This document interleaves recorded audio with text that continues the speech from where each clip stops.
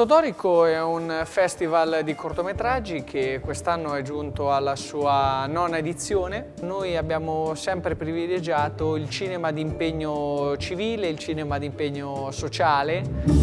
Il contributo di Cortodorico alla società civile io credo che sia duplice. Eh, il primo è che eh, sicuramente per la comunità degli adulti diciamo, la possibilità di, avere, di, di vedere dei cortometraggi o comunque dei prodotti difficilmente visibili in altre circostanze è sempre, è sempre un valore aggiunto.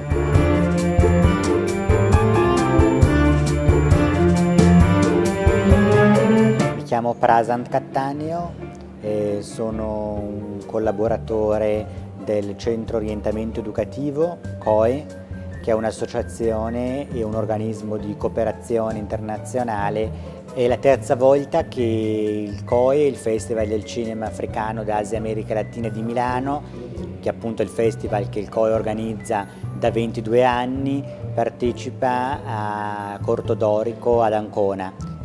Questa, questo incontro con gli studenti eh, delle scuole della città è stata particolarmente stimolante.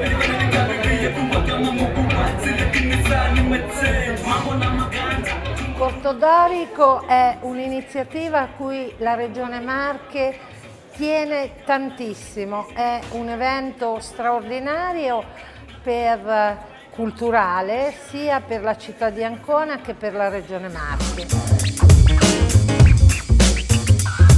Negli ultimi anni mi sono trovato a fare film su processi migratori o con migranti e diciamo dal punto di vista produttivo, eh, come al solito, la principale difficoltà eh, del genere documentario è il reperimento di fondi. Generalmente si riesce a partire perché con organizzazioni non governative magari c'è un piccolo budget stanziato per il, per il, prodotto, per il documentario, poi i problemi chiaramente sono a livello distributivo, questo vale per il cinema a tematica sociale ma anche eh, in generale per gli autori di documentari italiani.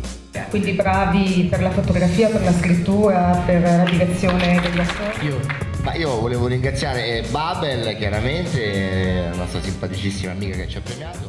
A proposito di premi, ce ne sono molti, i principali sono il premio Cortodorico al miglior cortometraggio a tema libero che viene assegnato da una giuria di qualità.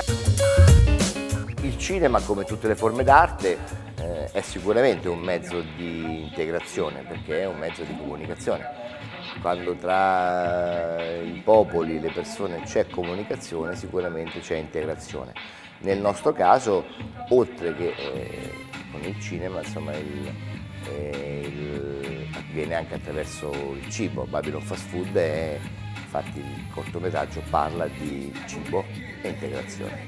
Vuoi sapere perché, perché, ehi, ti spiego perché, perché, perché, poi ti chiedi perché, quello che vive Mamadou, il personaggio di Babylon Fast Food, è quello che più o meno vivo tutti i giorni io, cioè nel senso che non vengo riconosciuto somalo da, dai somali per la mia mentalità, non vengo riconosciuto italiano per la carta.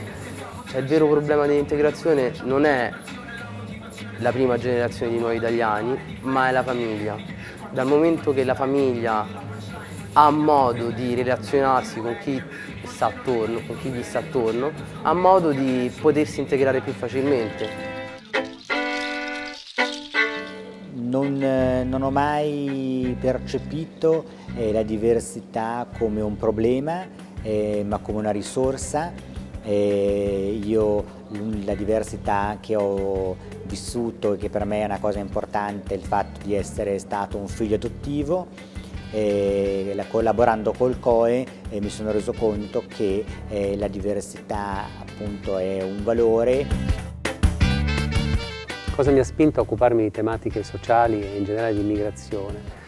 Eh, direi uno fra tutte l'idea che eh, fare questo tipo di film significa eh, lavorare con un gruppo di persone e condividere eh, condividere la tematica e svilupparla in senso creativo con loro, con chi generalmente lavora sul campo. Questa commistione tra eh, eh, appunto persone, i contadini che lavorano la terra, il marinaio che sarebbe il regista che arriva e eh, decide di fare il suo film, questa alchimia se funziona può, essere, può dare grandissime soddisfazioni, sia perché poi il film può essere usato a scopi, a scopi sociali.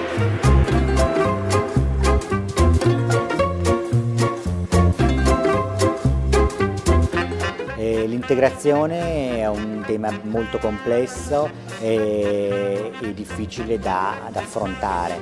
In Italia fa, sono stati fatti grandi passi, in particolare nelle scuole, con l'educazione interculturale, con l'insegnamento della lingua straniera e, e, con la cultura eh, si sta facendo eh, alcuni piccoli passi nelle biblioteche, nei comuni, eh, le associazioni stanno cercando di far conoscere eh, altre culture per favorire l'integrazione.